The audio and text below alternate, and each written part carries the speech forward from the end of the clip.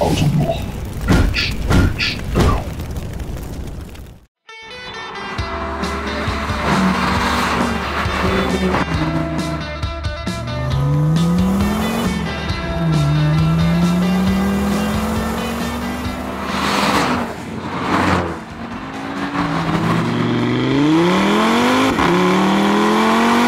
If I have some emotion, of course, it's the noise of the quattro. I mean, to, to, nobody can forget the noise. Even today, I think we miss this kind of noise.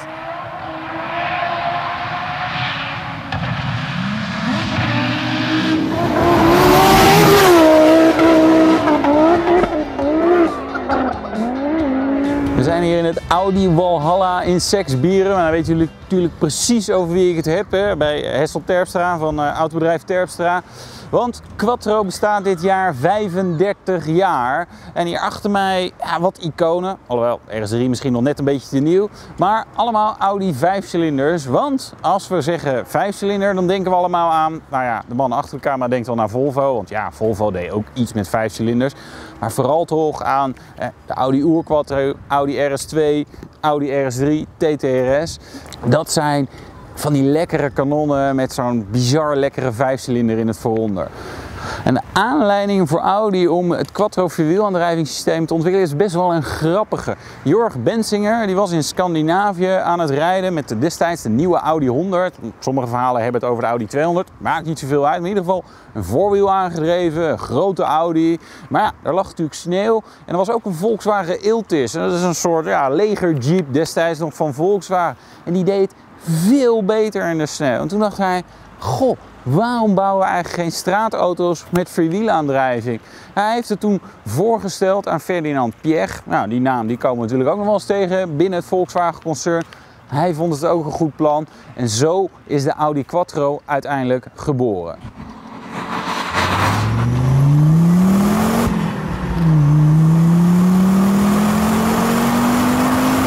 Het is wel lekker oldschool jaren 80 hoor. Echt, even ging een beetje beschrijven. Jullie zien natuurlijk ook in de beelden, maar dat Quattro logo op het dashboard zeg maar lekker in een soort ja, plastic. Ik noem het gewoon plastic. Het is de kunststof, maar plastic uitgestand. LCD dashboard zeg maar, de mooiste kino, de muizenbioscoop zoals de Duitsers dat zeggen. Ja, in de jaren 80 was dat hip hè. En dan liet je een bekende dame, dit was de dame die de verkeersinfo gaf op de radio. Die heeft alle potentiële foutmeldingen ingesproken. Heerlijk oldschool, jaren 80. Fantastisch, dat soort details. Achtung, Bremssystem defekt. Bitte Sicherheitsgurt anlegen. Bitte Licht ausschalten. Dan zie je zeg maar lichtjaren verschil tussen de RS3 hè, van nu en die Audi Quattro uit 1980. Want toen kwam die uit. Het vierwielaandrijvingssysteem Quattro was destijds redelijk revolutionair. In plaats van een tussenbak, zwaar en groot, er liep dan een soort holle as door de versnellingsbak. En uh, daarmee werd zeg maar kracht naar de achterwielen gestuurd. En er waren differentiëlen aan boord, maar in principe was de verdeling 50-50. En die differentiëlen kon je nog gewoon vastzetten. Zeg maar, alsof je in een Land Rover Defender rijdt, zeg maar, met ouderwetse sperren. Ja, letterlijk zo. Later kwam het bekende Torsen differentieel. Het was in, ik moet even spieken, 1988. Torque sensing. Dus dat betekent dat hij naar aanleiding van de hoeveelheid grip die de voor- of achteras heeft, de kracht naar de goede kant kan sturen. Zou je nog van een Oerquattro kunnen zeggen naar moderne maatstaven? Ja, hè, 200 pk uit zo'n 2.1 5-cilinder met turbo. 285 Nm, niet waanzinnig veel, maar die auto's waren natuurlijk ook wel wat lichter. Dus het voelt wel lekker gretig aan, alhoewel je wel wat toeren nodig hebt om een beetje turbodruk op te bouwen. Sprint naar de 100, 7,1 seconden topsnelheid van de 10 klepper Quattro was 220 km per uur.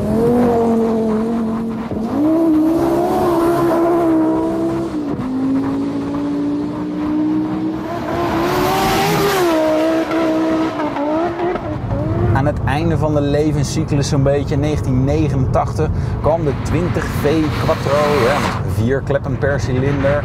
die had 220 pk en steeg de topsnelheid naar 230 km per uur. Maar de hamvraag is wellicht, waarom is die Quattro, die oer-Quattro, zo iconisch geworden? Hè? Want het was niet de eerste auto met vierwielaandrijving.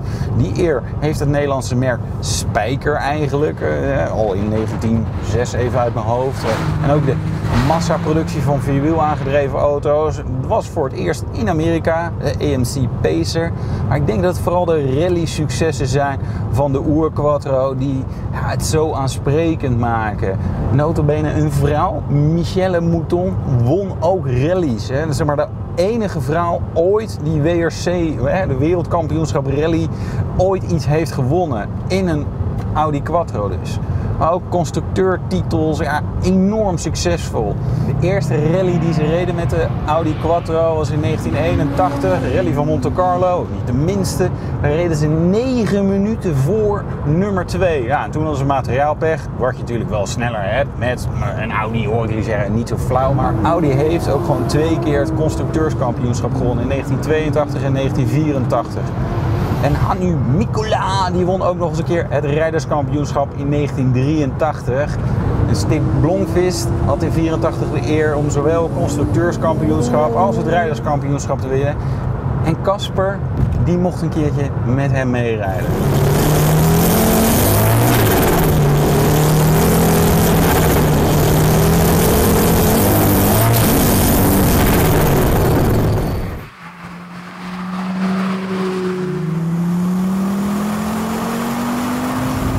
één Is die ook enorm tot de verbeelding spreekt, dan is het wel deze Audi RS2. Ja, dit is echt letterlijk destijds helemaal een sportauto, maar dan in stationverpakking.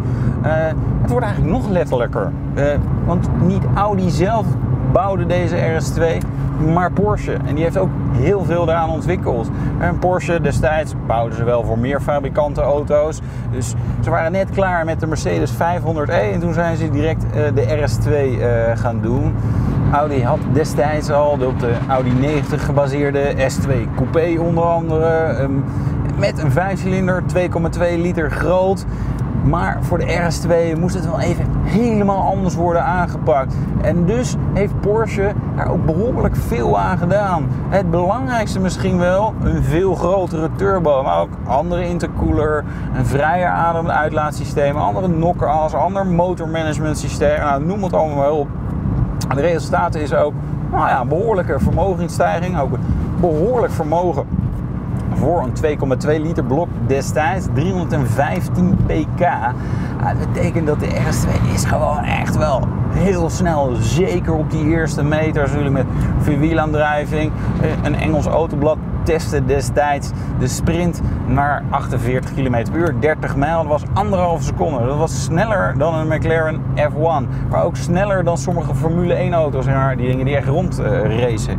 Gewoon heel rap sprint naar de 100. Ja, wat verschillende cijfers. We gaan het bij deze auto eventjes niet nameten. Maar officieel geeft Audi 5,6 seconden op. Maar er zijn ook wel snellere sprinttijden te vinden. Topsnelheid 262 km per uur. En volgens sommigen is die daarop begrensd.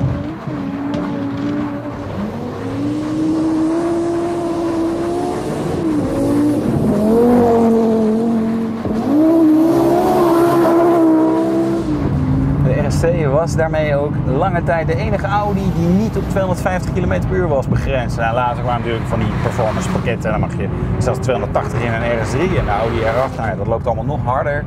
Ja, dat zijn wel grappige details. Maar het is een apart motorblok. Zeg maar onder de 4000 toeren dat je denkt, nou ja, is dit alles? En dan opeens vol die turbo erin. Dus wat dat betreft, zeg maar, misschien een wat minder makkelijker rijdende auto dan de Oer Quattro. Mocht je dit nog niet apart genoeg vinden, er zijn ook vier Audi RS2 sedans gebouwd. Eén staat in het Audi Museum, twee zijn naar de Verenigde Arabische Emiraten gegaan en waar de vierde is gebleven, dat weet niemand, maar wellicht kan jij hem dan toch nog traceren. En wat deze auto ook zo bijzonder maakt, is toch wel de invloed van Porsche. Ook in onderdelen. velgen, dat je denkt, oh, dat zijn inderdaad een beetje cup-achtige velgen, zoals we die ook op Porsche 964 bijvoorbeeld zagen. Nee, het zijn Porsche vel. Met een andere steek dus ook. Het zijn Porsche remmen. maar ook de knipperlichten Eh, de zijspiegels die zijn alweer van een Porsche 911 993. Het zijn van die aparte details. Het maakt die auto toch wel eventjes anders. Wat dat betreft wel erg grappig. Qua sturen is deze al wat meer uitgebalanceerd dan de Oer Quattro. Die heeft al heel erg de neiging om zeg maar, die neus zeg maar, de bocht uit te duwen. Als je even een beetje op het gas gaat. Niet dat hij dan echt enorm gaat glijden over die voorkant, maar je voelt dat die balans zo is. En dan snap je ook waarom er ooit een sportquattro is gebouwd met een kortere wielbasis. Die zeg maar wat agieler en wendbaarder was. En waarin je nog meer dood kon gaan. En die ook volledig onbetaalbaar zijn. En ook waren overigens. En als jullie goed hebben opgelet, dan heb je vast wel eens gelezen bij ons dat uh, echte Audi RS-modellen worden door Quattro GmbH gebouwd. Uh, maar deze dus niet. En dit was eigenlijk het eerste RS-model. Maar het eerste model wat Quattro GmbH wel bouwde, was vreemd genoeg weer geen RS, maar een S6 Plus. Destijds nog met een V8 met 326 pk.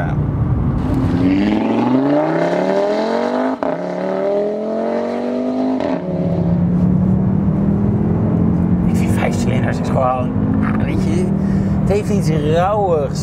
Het is gewoon anders dan een zescilinder loopt mooier. Hè? Want je natuurlijk die zescilinders die zeg maar en weer gaan. Zes in lijn heb ik dan specifiek over.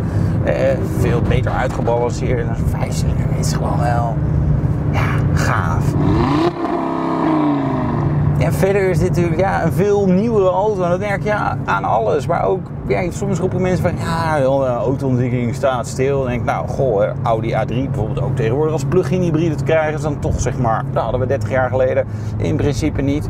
Maar ook dit motorblok, geniaal. Dat vind ik niet alleen. Er is ook zo'n internationale jury die dan zeg maar prijsjes uitgeeft voor de beste motorblokken. Nou, al zes jaar op rij.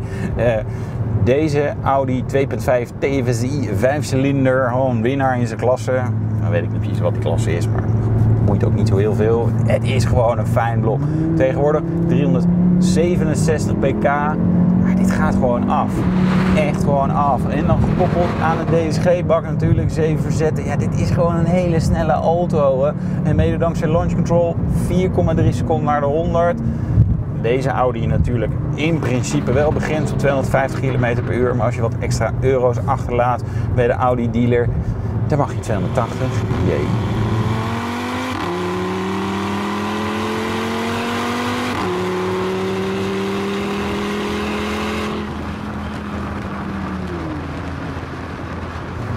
Verder, dit is eigenlijk geen echte quattro. Hè? Dit is eigenlijk een beetje een gecastreerde quattro. Dit is Haldex. Dus in de basis voorwielaandrijver. Nou ja, en als er wat slip is, dan schakelt die de achterwielen bij. Ah, in de praktijk merk je natuurlijk weinig verschil. Behalve zeg maar echt uh, gaat rally in de sneeuw of in de woestijn natuurlijk. Zeg maar een traditioneel quattro systeem. Uh, wat altijd de achterwielen mee aandrijft. Natuurlijk eigenlijk mooier. Maar goed, dankzij moderne elektronica. En dit schakelt zo snel. In de praktijk voel je dat niet. Ik heb zelf natuurlijk ook nog een Audi TT. Dat is ook zo'n nep quattro. Een oer TT zeg ik dan altijd om iedereen een beetje te narren. Het oude Haldex systeem. Daar voel je echt zeg maar even wielspin op de voorwielen. En dan is het opeens over. Hierin, nou eigenlijk niet. We zijn natuurlijk af en toe nog wel eens een beetje aan het bitchen op het, zeg maar, het praktijkverbruik en het testverbruik. Zo van ja, die auto's die zijn helemaal niet zuinig geworden. Is natuurlijk uiteindelijk gewoon niet waar. Maar dit is een auto met zoveel meer performance. Echt gewoon veel meer ook dan een RS2. Sneller de 100, in principe hogere topsnelheid, ook tussensprint, zeg maar veel sneller, veel meer comfort. Ja, en dan toch gewoon in de praktijk ook zuiniger. En ook dan een oerquattro. Dus wat dat betreft, zeg maar, de ontwikkeling heeft echt niet stilgestaan.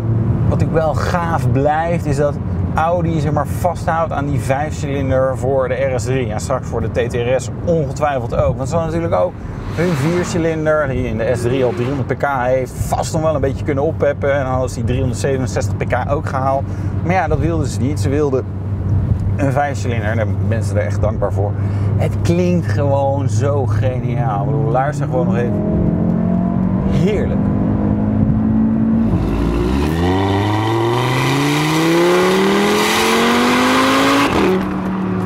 het zijn natuurlijk drie onvergelijkbare auto's. Hè. Er zit zoveel tijd tussen. Maar wat ze verbindt is die vijfcilinder. En ik vind dat ook wel weer een statement zeg maar, in het segment. Waarin toch gewoon specifiek voor één of twee auto's, of als je de RSQ3 nog meerekent, drie auto's gewoon een blok ontwikkelt. Terwijl de trend is natuurlijk steeds meer dingen delen. En bij de een schroef je de turbodruk wat op en dan, schroef je hem wat terug en dan noem je hem S, RS, noem het maar maar op. En dan toch gewoon vasthouden aan die vijfcilinder. Ik zal niet zeggen dat de RS3 nu al iconisch is, maar goede Quattro en RS2 zijn dat zeker wel. En dit is gewoon een gave auto sinds ze gewend. Heel gaaf.